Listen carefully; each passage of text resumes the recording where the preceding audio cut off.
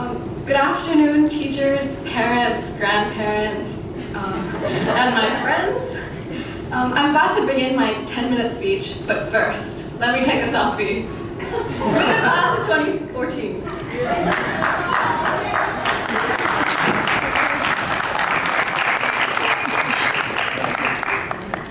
I promised myself my speech would not be cliche, but I genuinely cannot believe that we have come this far, that we are graduating today.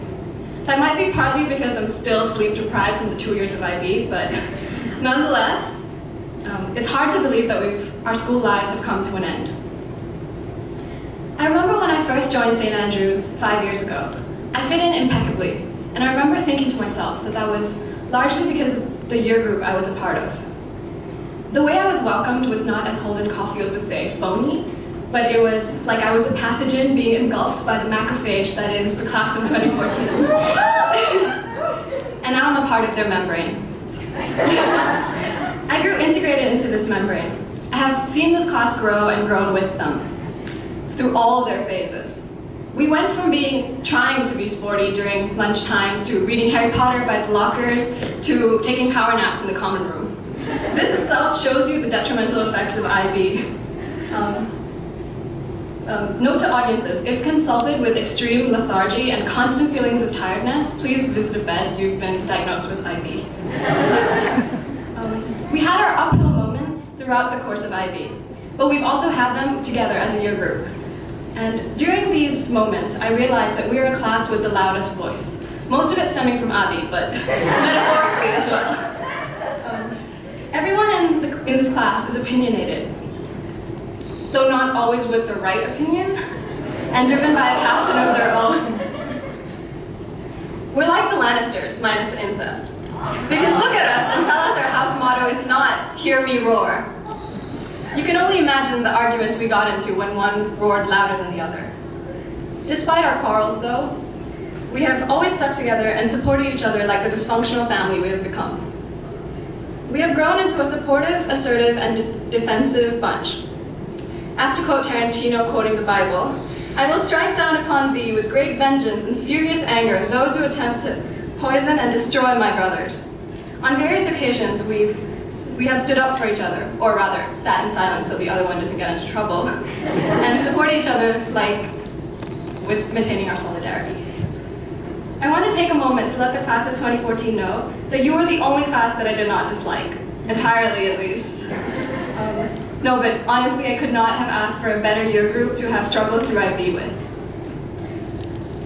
Um, in the wise words of Mussolini, we've been at war, the war of work.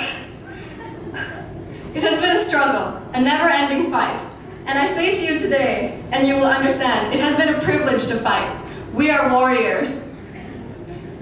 I quote Mussolini today, not because of, the in, not because of my inexplicable love for dictators, but because a socialist once referred to Mussolini as a phenomenal rabbit, a rabbit who he roars. I find this perfectly descriptive of our class because on the outside we may appear as fierce as warriors, but on the inside we're that class that has a coordinated dance to Arctic Monkeys song. but we wouldn't have made it here today without the war training provided to us by our teachers. Because without them, we would not have learned how to mold our extensive knowledge and fit it into the hmm. guidelines of the IB criteria. Of course, this is not all we took from the duration of IB. We have also learned how to write 4,000 essays within one night, link our CAS reflections to starving kids in Africa, and, of course, question our entire existence, because what is knowledge? How do I know I know what is knowledge? Am I thinking about my thinking about my thinking? Sorry, I digress. Nonetheless, truly without the support and tolerance of my teachers, I would not have made it thus far. So thank you, G-Dog, for being our positive big brother figure, except two minutes hate, of course. Um, thank you, Mr. Rich, for being my biology best friend, and not always shouting at me for dancing in lessons. thank you, Mr. Simon, for believing that I will not turn out to be a psychopath.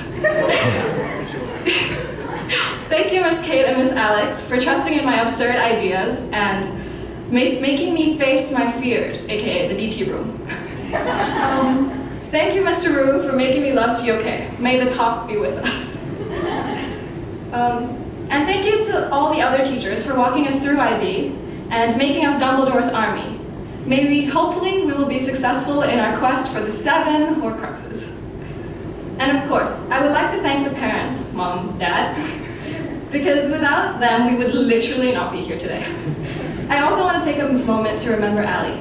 She isn't here with us today, but remains with us and will always be a part of our class. As for one, what comes next?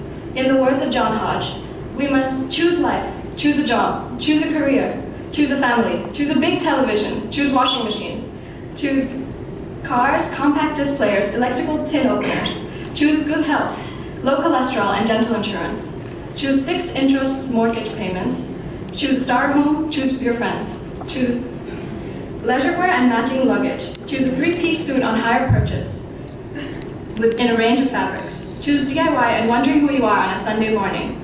Choose sitting on that couch watching mind-numbing, spirit-crushing TV shows, stuffing junk food into your mouth. Choose your future. Choose life. Thank you.